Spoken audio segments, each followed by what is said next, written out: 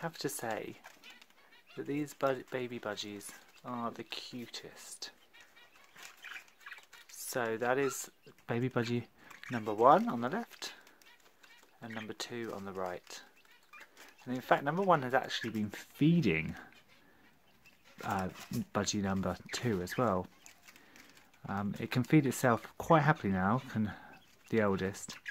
And it has been feeding both of its siblings. So it's been feeding this this little one and grooming it a lot.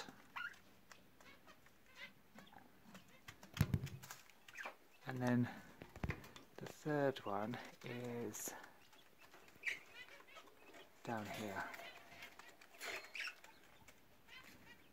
Just resting. I'm about to put out the light for bedtime, but they were so cute preening each other. I thought I would just show you guys because it's very cute.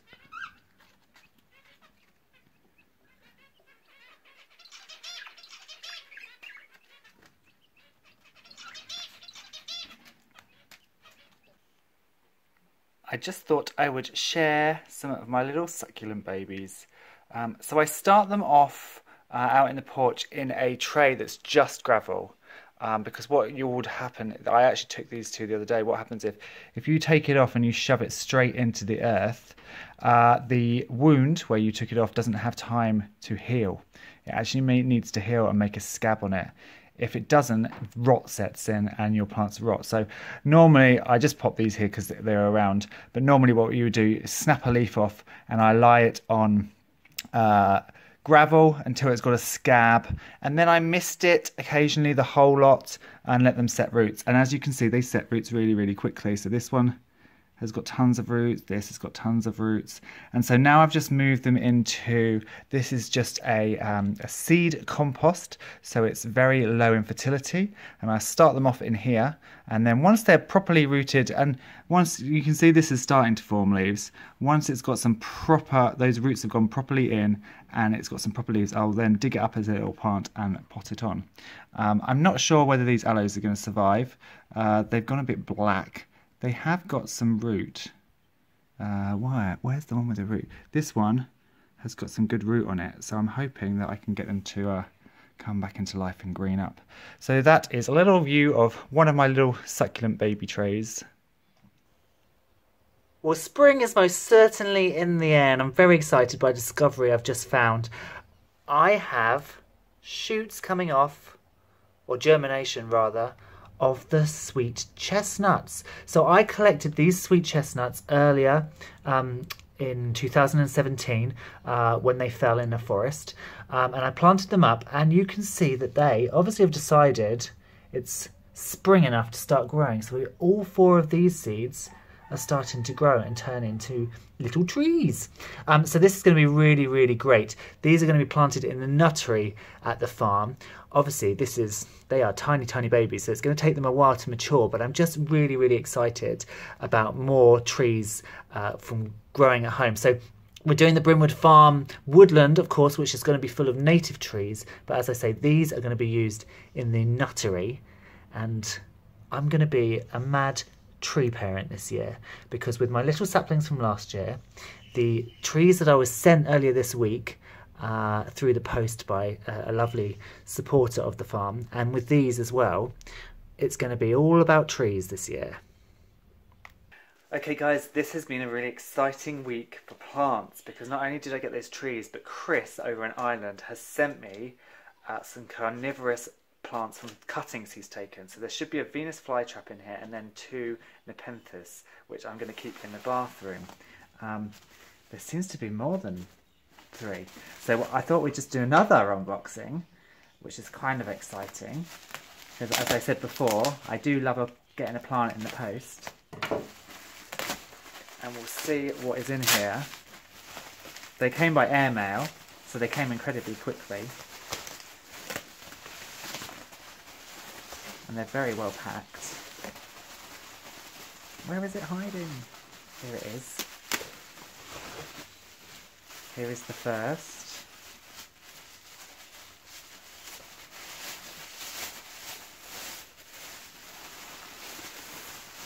Oh, it looks amazing.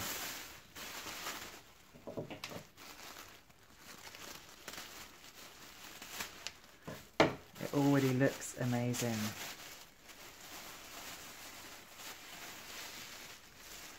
Wow. So these are those pitcher plants that, you know, they hang and then the pictures are big and they're fluted and they hang down. So there's some cuttings of those. I'm going to root them into sphagnum moss, hopefully. I'm going to keep them wrapped up for now because I don't want moisture escaping. Lovely little Venus flytrap. Beautiful. I'm running out of space. Let's put that over here.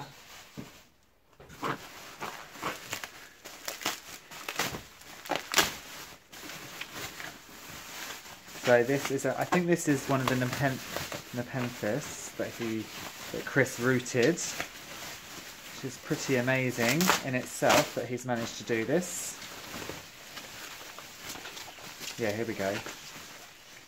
Beautiful. Oh, and so here you can see what I meant about these hanging flutes. So these are the ones that actually catch the flies. Look at that. Isn't that amazing?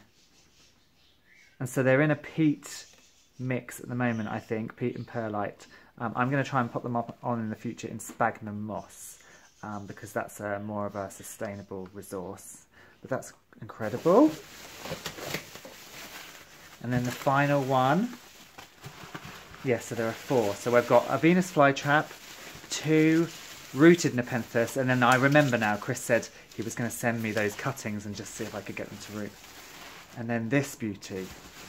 So again, we've got more. So you can see, I can't remember the varieties. I'll put them on screen. So there's a red one and a green one. How exciting! Well, if you watched last week's video, uh, you'll know I put in some seeds, the first of the year, into this heated propagator. Mostly herbs, but a couple of uh, aubergines and some um, peppers. And look!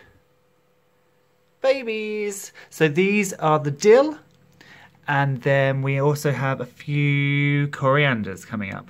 So funnily enough, these are actually the brand new packets. So the basil and the flat parsley um, and the, the, yeah, the other parsley in here, the curly parsley, they're not old packets, only a year old. Um, so it might be a complete coincidence. But the brand new fresh packets have really germinated fast. So we've got quite a lot of lovely little dill plants here some coriander. There's quite a lot of coming up there you can see in the middle. Um, we're just keeping an eye out now on the basil, the two basil varieties, the two flat leaf parsley varieties, uh, the peppers and aubergines, and then also, obviously, you know, I also couldn't help myself. So there's no signs yet of the sweet peas or the really old spring onions and cucumbers, but we may not get anything in here at all. But it's just nice to have some little baby plants. Hi guys, I've just gone shopping and look what I found. So I have found loads of clearance. Now, you know that I'm not a fan of yellow daffs, but look, 50p for these. Aren't they nice? So I'm going to get a load of white daffs and some more here. And they've also got some um, uh, Iris reticulata, so I'm going to get those. Again, 50p. So it's rather good. Now, obviously, it's kind of the wrong time of year to put bulbs in now. So these may only have leaves this year. They might not actually have flowers. But when they're only 50p, you can't really say no, can you? So that's my, uh, my nice little bargain find of the day. So today, I'm all those bulbs I bought yesterday, I'm getting in. Uh, and the first one's going in at these Iris reticulata Harmony. We've already got Katharine Hodgkin, uh, flowering up here. Um, and I'm going to put the Iris reticulata harmony into this trough. Now when they, when you buy them and they've already started sprouting, it's really important to get them in the ground quick because they're using all the bulb's energy to produce this shoot, but they haven't got any roots yet. So they've got no way to feed themselves. So you, although they're a bargain, these were 50p a bag because they were massively reduced to make them make sure they last, you need to get them into the soil and encourage that growth. Now, these Iris reticulata may flower uh, they may just put leaves up because obviously, as I say, there's no roots. I'm going to put all bulbs, all the Iris reticulata into here.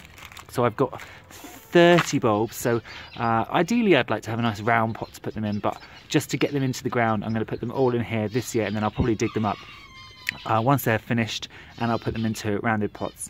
And then the um, daffodils, I'm also going to pop into pots, and I think I'm going to make one mass display of them in this large clay pot I've got. Um, some of them have started to shoot, as you can see, uh, and then others like this pheasant eye, this this lovely pheasant's eye one.